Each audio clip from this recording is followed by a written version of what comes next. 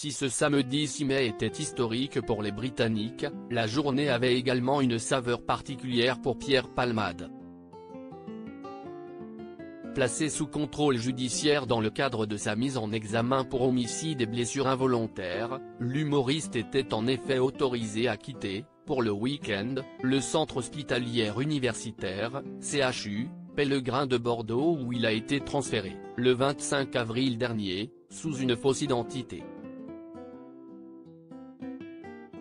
C'est la première fois que l'homme de 55 ans mettait librement le pied dehors depuis le violent accident de la route survenu le 10 février dans lequel il est impliqué en tant que conducteur, sous l'emprise de stupéfiants, du véhicule qui a percuté une voiture venant en face. L'ancienne acolyte de Muriel Robin et Michel Larocque a ainsi quitté le centre hospitalier, où il est assigné à résidence, à bord d'une voiture noire qui l'attendait, ce samedi 6 mai dans la matinée. Une fois à destination, la descente de Pierre Palmade du côté passager du véhicule a ensuite été filmée par TFI et LCI. Monsieur Palmade, vous allez bien?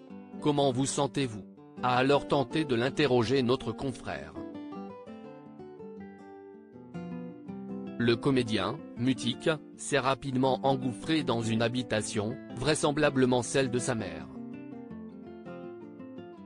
Plus tard dans le week-end, l'humoriste a de nouveau été filmé, par BFM TV, dans une rue de Bordeaux en compagnie de deux de ses proches.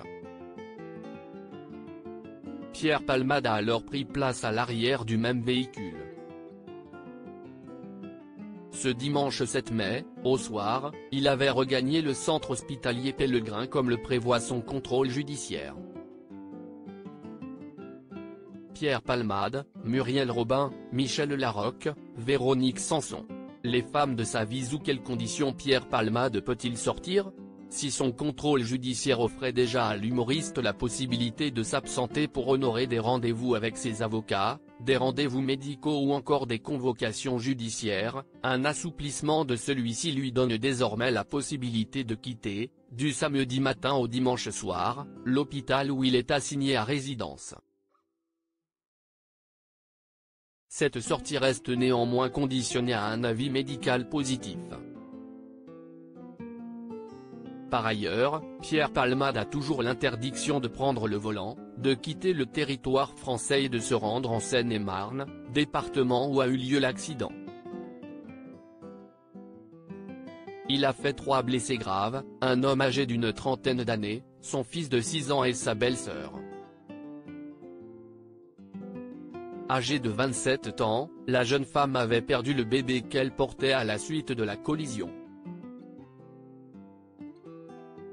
Article écrit en collaboration avec 6 médias. Crédit photo, Jack Tribeca.